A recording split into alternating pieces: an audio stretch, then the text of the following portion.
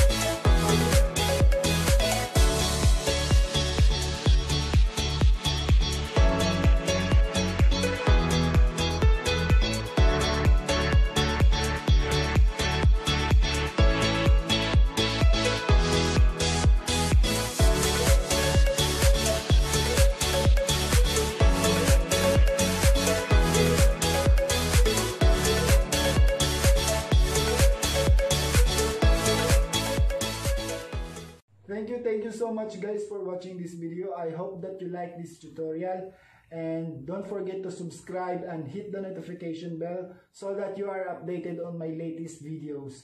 And God bless us all. Thank you so much for watching.